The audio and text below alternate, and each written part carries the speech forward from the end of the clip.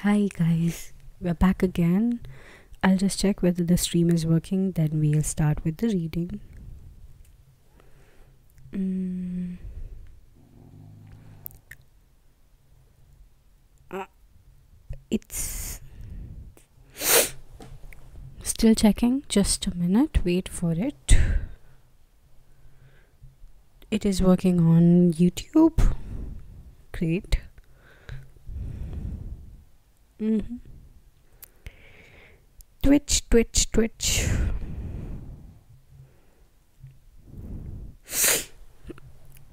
It is working on Twitch as well. Great.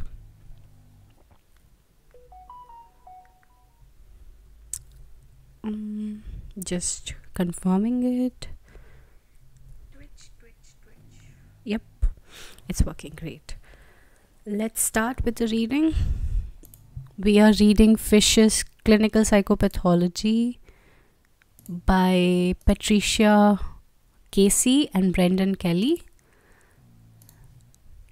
We are on chapter 5th Disorders of Memory, page number 63 from the book, not from the PDF. Okay. Memory is of three types sensory, short term, and long term. It can be compared to a sieve with holes of varying size to assist in separating material that is relevant from that which is irrelevant. The first type of memory, sensory memory, is registered for each of the senses, and its purpose is to facilitate the rapid processing of incoming stimuli so that comparisons can be made with material already stored in short and long term memory. Since there are numerous stimuli bombarding the individual, selective attention allows for the sifting of relevant materials from sensory memory for further processing and storage in short term memory. As a consequence, most sensory memory fades within a few seconds.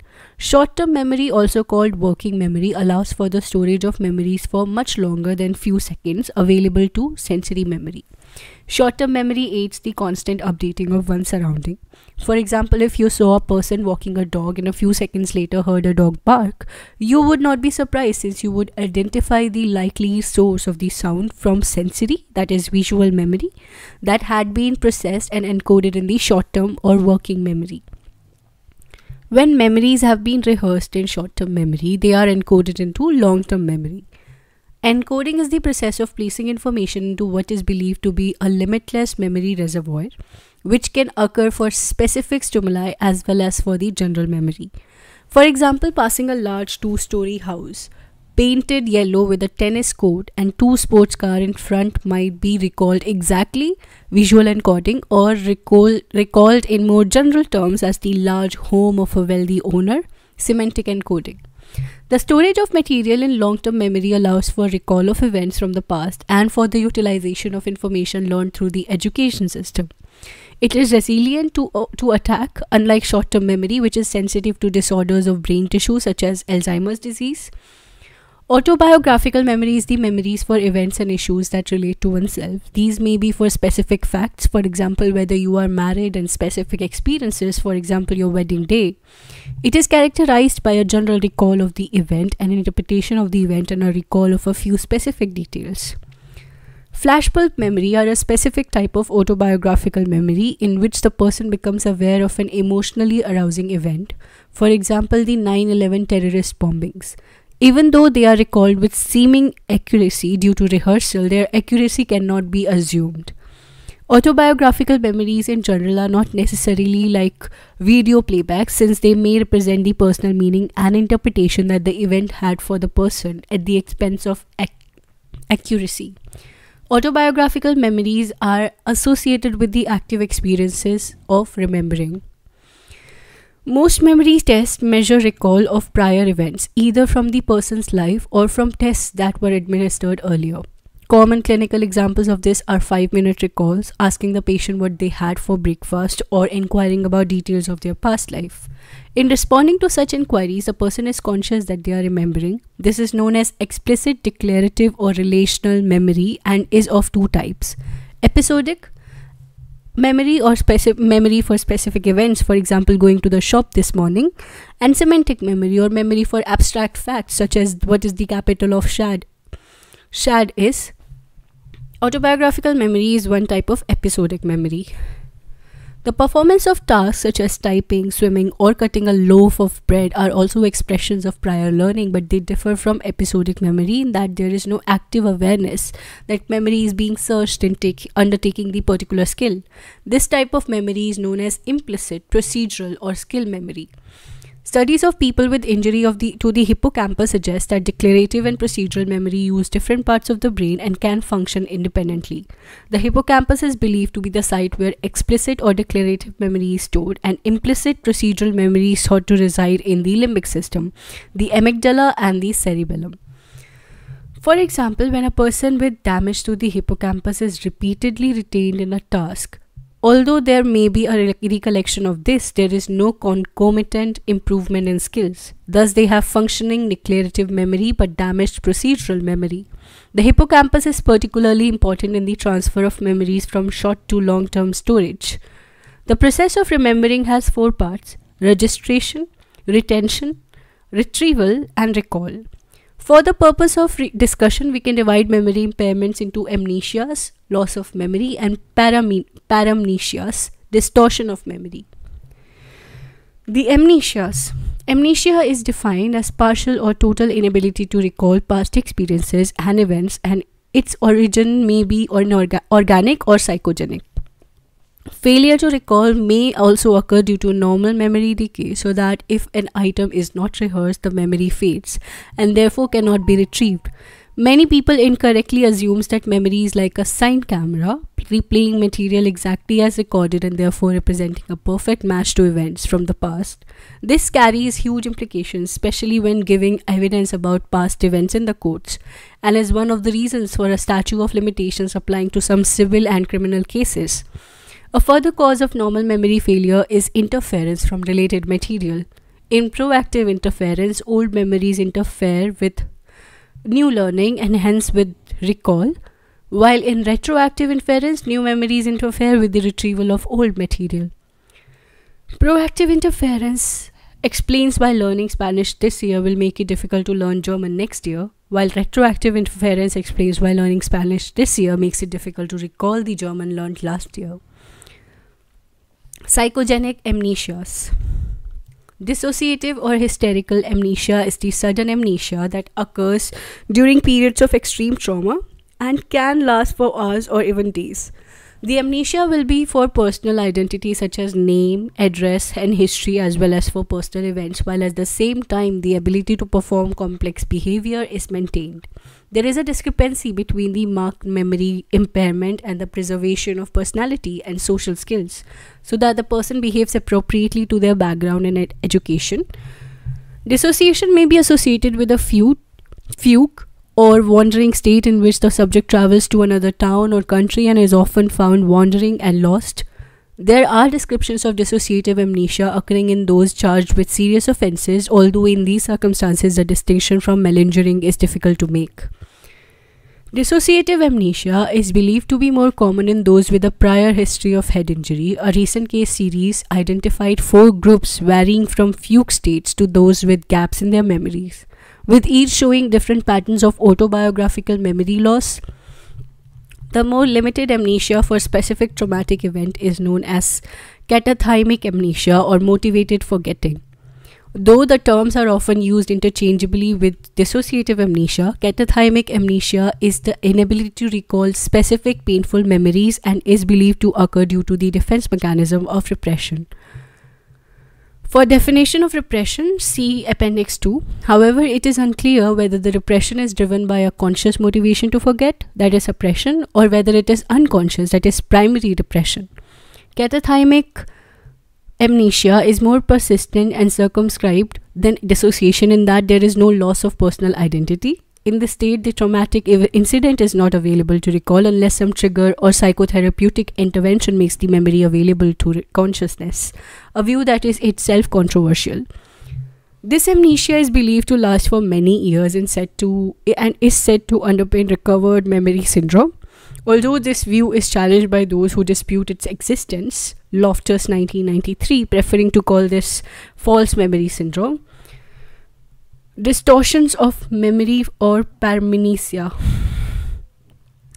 Paramnesia. A detailed review of trauma- traumatic amnesia is provided by Brewin and Andrews 1998. Organic amnesias. Acute brain disease. In these conditions, memory is poor owing to distortion of perception and attention. Hence, there is a failure to encode material in long term memory. In acute head injury, there is an amnesia known as retrograde amnesia, which embraces the events just before the injury. This period is usually no longer than a few minutes, but occasionally may be longer, especially in subacute conditions. Anterograde amnesia is amnesia for events occurring after the injury. These occur most commonly following accidents and are indicative of failure to encode events into long term memory. Blackouts are circumscribed periods of anterograde amnesia experiencing particularly by those who are alcohol dependent during and following bouts of drinking. They indicate reversible brain damage and vary in length but can span many hours. They also occur in acute confusional states, delirium, due to infections or epilepsy. Subacute coarse brain disease. The characteristic memory disorder is the amnestic state in which the person the patient is unable to register new memories. This memory disorder is characterized by the inability to learn new information, anterograde amnesia, and the inability to recall previously learned material, retrograde amnesia. However, memories from the remote past remain intact as does recall of learned event, learned material from the past and immediate recall. As improvement occurs, the amnestic period may shrink and recover, re, re, recovery may sometimes be total. This diagnosis is not made when there are other signs of cognitive impairments, as in dementia, or when consciousness is clouded, as in delirium. Korsakoff syndrome is the amnestic syndrome caused by thiamine deficiency, but other causes include cerebrovascular disease, multiple sclerosis, transient global amnesia, head injury, and electroconvulsive treatment. Chronic coarse brain disease. This was subacute. Chronic coarse brain, brain disease, patient with amnesia or those with Korsakoff syndrome usually have a loss of memory extending back into the recent past for a year or so. Patients with a progressive chronic brain disease have an amnesia extending over many years, though the memory of recent event is lost before that for remote event before that for every remote events. This was pointed out by Ribot and is known as the Ribot's law of memory regression. Ribot's law says that the oldest memory goes the later, like the newest memory goes fastest, and oldest memory goes slowest. Other amnesias, anxiety amnesia occurs when there is anxious preoccupation or poor concentration in disorders such as depressive illness or generalized anxiety. Initially, it may wrongly suggest dissociative amnesia. More severe forms of amnesia in depressive disorders resemble dementia and are known as depressive pseudodementia. Amnesias in anxiety and depressive disorders are generally caused by impaired concentration and resolve once the underlying disorder is treated. Disorders of memory or paramnesia. This is the falsification of memory by distortion and can be conveniently divided into distortion of recall and distortions of recognition. This can occur in normal subjects due to the process of normal forgetting or due to proactive and retroactive interference from newly acquired material. It can occur with those in those with emotional problems as well as in organic state. Disorders distortions of recall. Retrospective falsification.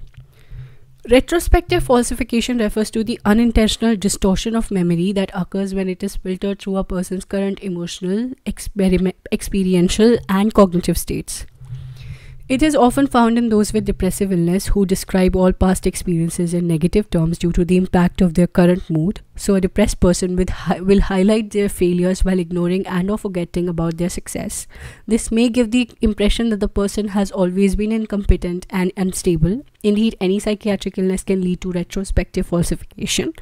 Even following recovery, the falsification may continue, as for example, when a person following discharge from hospital exaggerates the restrictions that were placed upon them.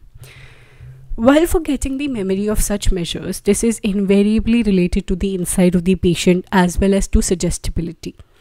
Those with hysterical personality in whom suggestibility is high can therefore produce a complete set of distorted memories of the past. False memory. False memory is the recollection of an event or events that did not occur but which the individual subsequently strongly believes did take place. The syndrome refers not to distortion of true memories as in normal forgetting, but to the actual construction of memory around events that never took place. Although this definition was developed specifically in the context of childhood abuse recalled by the victims in adulthood, it can also be applied in rare situations such as false confessions to serious crimes. The origin of this latter false memory is this term memory distrust syndrome and emanates from the person's own fundamental distrust of their memory, termed source amnesia. This source amnesia arises because of difficulty remembering the source from which the information was acquired, whether from one's own recall or from some external source as recounted by others. In view of the fallibility of memory, this phenomena should hardly be surprising. For example, healthy people have trouble remembering the source of much information, including when, where, from whom, or in what modality, spoken or written. This difficulty worsens with increasing age and is an even greater problem in the presence of organic brain disease. Those who are suggestible are also at great risk of false memory. In these instances, it is important to identify an actual memory since it is possible to have false belief without any memory. As for example, in a person who says they were in hospital following a following a cerebrovascular accident, when in fact they had no recollection of this but had been told by their family that it happened. Screen memory. Screen memory is a recollection that is partially true and partially false. It is thought that the individual only recalls part of the true memory because the entirety of the true memory is too painful to recall. For example, an individual may recall that childhood sexual abuse was perpetuated by a neighbor because it is too painful to recall that the abuse was in fact perpetuated by their own brother. In any given case, it is difficult to dissect out precisely which element of such memories are objectively true. This may be important in both the therapeutic and legal settings. The relationship between screen memory, psychological symptoms, and other psychic phenomena such as dreams may be difficult to establish. But untangling these relationships may be seen as an opportunity for psychological or psychoanalytical explorations in certain cases. Confabulation Confabulation is the falsification of memory occurring in clear consciousness in association with organic pathology. It manifests itself as the filling in of gaps in memory by imagined or untrue experiences that have no basis in fact. Some of these statements may be contradictory, yet no attempt is made to correct them. The confabulation diminishes as the impairment worsens. Two broad patterns emerge the embarrassed type, in which the patient tries to fill in gaps in memory as a result of an awareness of a deficit, and the fantastic type, in which the look Lacunae are filled in by details exceeding the need of the memory impairments, such as descriptions of wild adventures. Overall, the embarrassed type is much more common and it may represent real memories displaced in time, some schizophrenics confabulate and provide detailed descriptions of fantastic events that have never happened. Some researchers argue that confabulation is a misnomer since these memories are fixed and unchanging. The term pictorial thinking is used instead by some, while others call them memory hallucination, a term rejected by Fish as not very suitable. They may be best termed retrospective delusion, See section retrospective delusions. Lithologia, the temporary inability to remember names or proper nouns, is common and generally not indicative of any pathology.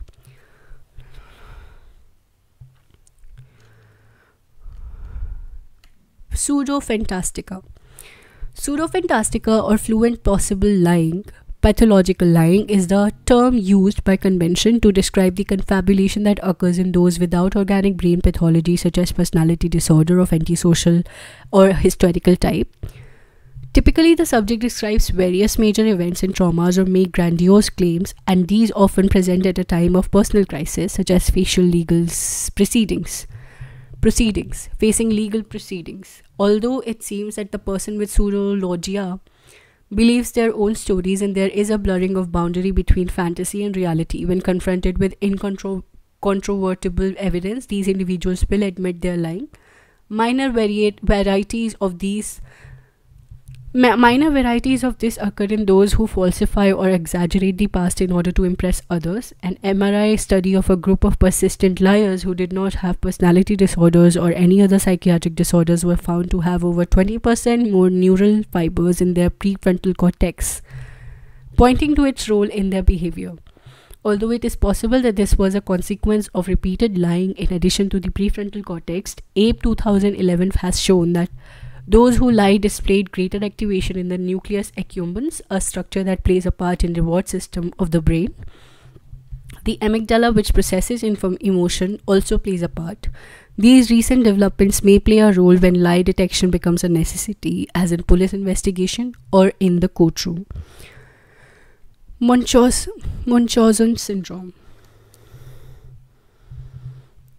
Munchausen syndrome is a variant of pathological lying in which the individual presents to hospital with bogus illness, complex medical histories, and often multiple surgical scars.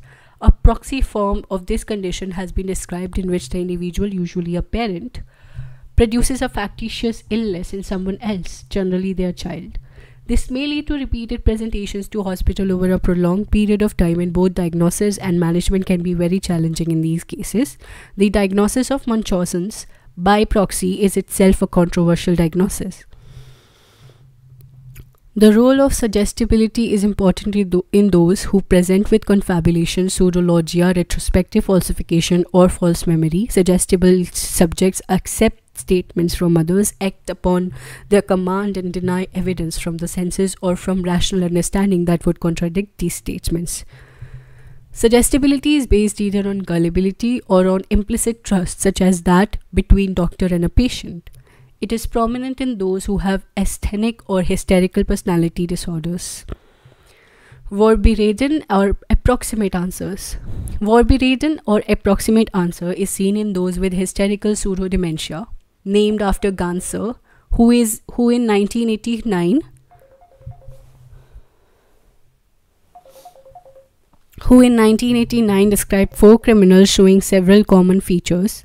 These included clouding of consciousness with disorientation, auditory and visual hallucination or pseudo hallucinations, amnesia for the period during which the symptoms were manifest, conversion symptoms, and recent head injury, infection, and severe emotional stress. Approximate answers suggest that the patient understands the question but appears to be deliberately avoiding the correct answer. So, when asked what the capital of England is, the reply might be Bristol, or when asked how many eye a dog has, the answer given is 3. Ganser believed it to be a hysterical condition with the unconscious production of symptoms to avoid a court appearance. Some authorities reserve the term Ganser syndrome for those who have clouding of consciousness along with the other symptoms and distinguish it from pseudodementia, in which consciousness is clear. Many now believe that the Ganser syndrome, Ganser syndrome is indicative of either an organic or a psychotic state rather than hysteria as originally believed. A similar condition of approximate answer is found in those consciously feigning illness, and this should be called, called malingering or factitious disorder according to the nature of the game. Ganser syndrome and malingering or factitious disorder are often confused in spite of the conscious basis for the latter. Vorbeireden is also found in acute schizophrenia, usually the hebephrenic type.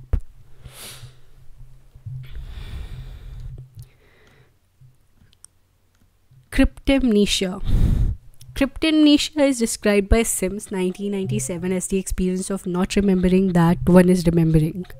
For example, a person writes a witty passage and does not realize that they are quoting from some passage they have seen somewhere else.